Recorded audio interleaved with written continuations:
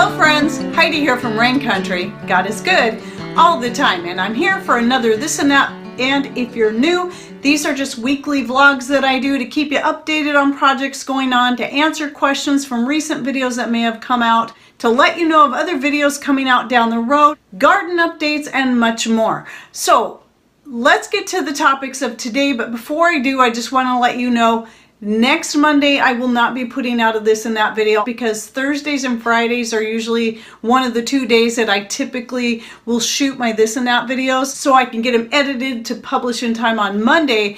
But uh, my son's wedding is this weekend, so the wedding's on Friday and the rehearsal and rehearsal dinner is on Thursday. So obviously I'm going to be a little busy. But after that, I should be getting back onto regular schedule. Now, let me talk a little bit about some garden updates and that's going to play into some other topics that I wanted to cover. So I just went out and harvested some more rosemary, a big basket of sage, as well as the continuing of the nasturtium flowers. I'm going to up my game even more on dehydrating the flowers and getting them put up. So the reason why the sage, the rosemary, even though I have enough of all this for myself, the reason I decided to run out there and just harvest up a bunch more and just keep it going is because the video that published this last week on natural ways to promote hair growth. So this is with for people who have thinning hair. That video is for anyone. It doesn't matter how straight, curly, or what color your hair is. It's about anyone who's having issues with thinning hair, which I went through when we had taken ourselves off the thyroid medication plus I was just going into menopause at that same time so I was my body was kind of dealing with some different things and I lost a lot of hair. I'll link to that video down below because I cover a lot of things, both internal and external things that you can do. Well, anyway, coming back to this, uh, it's not the first time I've had people over the years approach me on selling my own homemade hair growth promoting oil. I just wasn't into selling it. I've never sold it. But I thought about it after I got this last comment thinking, well, maybe I should at least give it a try. So that's why I'm dehydrating up even more of the rosemary, sage, and nasturtiums because these are three of the herbs I'm going to be using in this next batch of infused oil I'm going to get going. That will then go into a product I'll be putting up on the store. So um, I also will be using some homegrown nettle. I already have a lot of this dehydrated up. I had learned about the nettle for hair growth by doing the research for that video. Then another lady came in and commented on how, if you remember that old, those old commercials, I remember back in the 80s, I think it was when it was still called uh, the Hair Club for Men, but now it's just called the Hair Club. And she was reading the ingredients and the two active ingredients are peppermint and stinging nettle. So interesting. So I'll be using the nettle in that and then of course the red pepper flakes. So these I don't grow, but all the other herbs I'll be adding in there are ones that I grow myself. So all of them are organic either way. And then I'm going to be using a blend of oils with the avocado, the castor oil, and the sweet almond oil in that. And then I'm thinking as far as adding an essential oil, I might give people the option of lavender or peppermint oil since I'm, even though I grow a lot of peppermint, I need that for ourselves because I we go through a lot of peppermint for tea through the year. So I won't be adding that to this oil, but I can at least put in the peppermint essential oil for those that would be interested in that. So I'll probably give the two options between the lavender and the peppermint. So anyway, it'll be a couple months though before I can get that up on my store. I'm gonna start infusing the oil today, but I gotta let it sit for at least two months. I also got some amber glass four ounce bottles ordered up today. That's what I'll be putting the, the uh, hair oil in to put up on the store. But let's move on to some more garden related things. Now you can see I did that video. It's another one that uh, published recently. Was on the many uses for zucchini. And just when I think I'm getting caught up on my zucchini, I go out there and find a bunch more. And I'm trying to pick them really before they even get this big. But you got to keep an eye on it. Those things grow overnight. I've been dehydrating up a lot. I've been eating it every day for lunch. Sauteing it up in a little homemade wine and some uh, almond oil has been really good. Anyway, I recommend if you have a lot of zucchini, go check out that video. I put in a whole bunch of ideas. Plus, I got a whole bunch of ideas from other people like I knew I would. And one of those is about the pineapple zucchini. I think I'm going to go ahead and give it a try. Use the pineapple juice and lemon juice, and then you can that. It actually comes out tasting just like pineapple but in that case you do have to skin the zucchini. So but what I'm going to do is I'm not just going to do some pineapple. I'm going to do some with the black cherry juice. The Simple Truth black cherry juice, I actually thought it was organic. I just realized I thought all Simple Truth products were organic, but I guess not. But at any rate, this is really good. It has a really good flavor. So I thought it would be fun to do some jars with the black cherry and some with pineapple and maybe even another juice that I have back there because I do like mango or something and just see how it turns out even if I just do one jar of each of those other flavors. Just a way that I can use up the zucchini, get it canned up and have it on hand for doing other things because I was reading how some people like to shred the zucchini before they can it up. And When you do it that way, you use it like crushed pineapple or you chunk it up for doing other things. What I was thinking is like a black cherry zucchini, having it chunked up, and then maybe making like fried cherry pies out of that. And I think that would be pretty good. Now I've made fried dried apple pies using cherry juice to rehydrate the apples in before I put them in the, uh, the fried apple pie. And that was really good. Okay, and more garden related stuff. So my beans have been coming in. In fact, when I went to edit that video last week's this and that, uh, that same day I was working on editing, I went out there and realized I had a bunch of my beans that were long past ready to pick. And it surprised me. I knew I had beans coming on, but it just seemed like all of a sudden overnight, just like with the zucchini, I had a bunch of big ones and I thought I had a lot more time.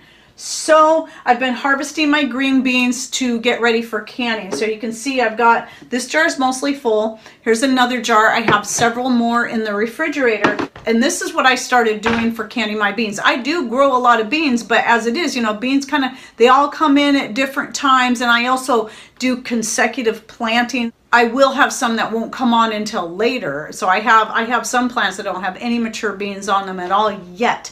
My canner will hold 16 wide mouth pints. They'll hold 18 regular mouth pints, but I like doing my beans in wide mouth. So I don't like running my canner unless it's full. So what I do is I found that this works really good, especially if you store your beans in the coldest part of your refrigerator. You don't have to worry about them going bad. You can let them sit in there for seven days.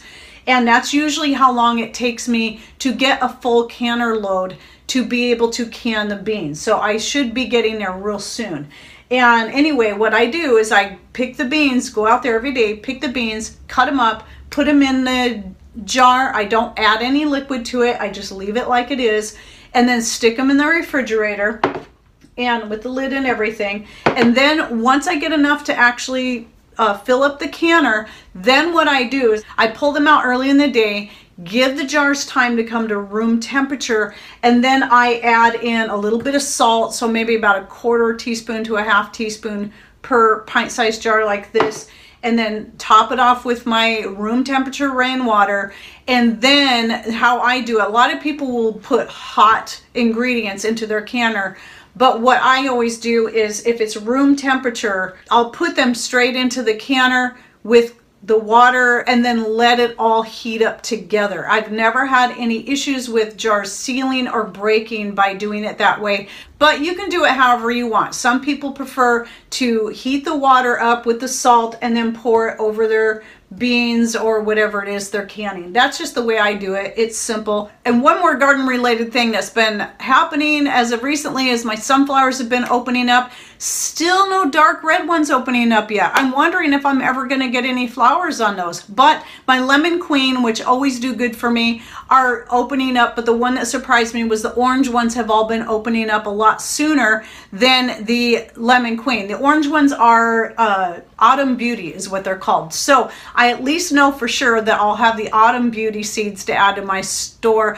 along with the lemon queen sunflowers hopefully the Velvet Queen, which is the dark red burgundy flowers, will be opening up this year. I'm really excited about them. Those are the ones I've been most excited about, but we'll see. All right, and then one more thing I wanted to cover, which is actually still garden related, but you might have seen the video review I did on the Hoselink, which is probably about two weeks old, at least by the time you're seeing it. Still loving it, but I want to share something. I actually do have two of those because the first one they sent me, though it worked fine as far as uh, pulling the hose out and using it, the hose never locked into place. And I told them, while I like all the features on this, the hose is not locking into place, and so I have to hold it, and it's really kind of a hassle to do that.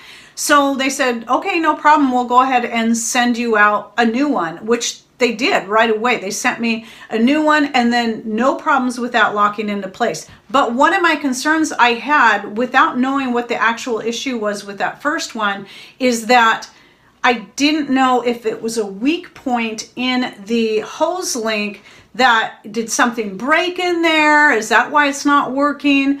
Instead of hauling the other one out to the dump, Patrick decided to take it apart and look at it and see if it was something he could repair.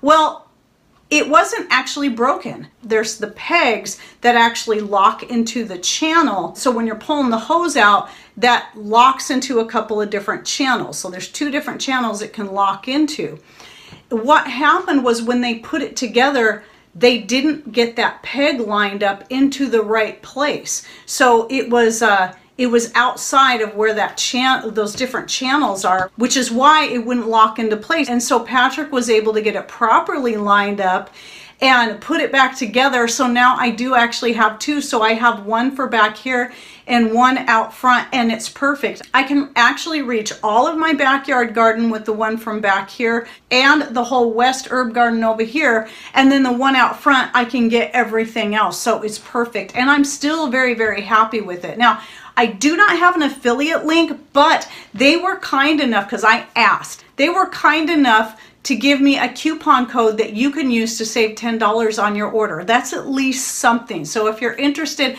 I'll go ahead and put the link to their store and then I'll put that coupon code next to the link so you'll know what to put in there.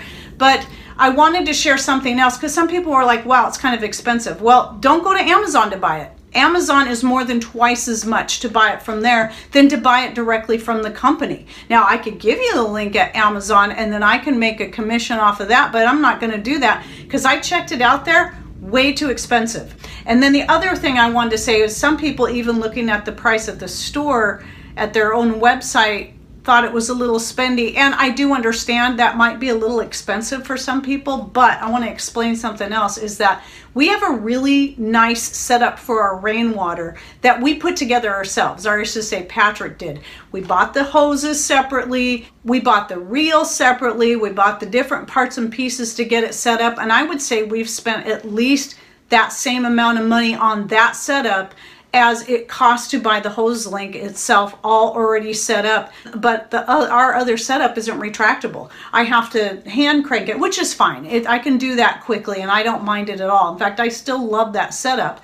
But and then I don't have some of those other cool features that the Hoselink came with itself. So really, if you're wanting a good setup, uh, you can either piece it together yourself and maybe not still not get all the great features that the Hoselink has and end up spending just as much money or you can buy one that's already uh, put together itself. One thing I did do is I did finally order up the cover uh, for at least to go over the one out front because that's the one you know you see from the street and I want it to look a little nicer and blend in with our house. So I got that printed cover with the greens on it so it should look really good uh, next to the house. So I can't wait to get that and put that on there. That's just a protective layer. I considered making one to go on there but then when I looked at the price and considered the fabric and what it's made out of, the zipper, the Velcro, and all this stuff. I figured it, I decided it was worth it to go ahead and buy that. My son, by the way, came over the other day to wash his car and used the one back here, and he really liked that setup. So it's good for whatever you need it for.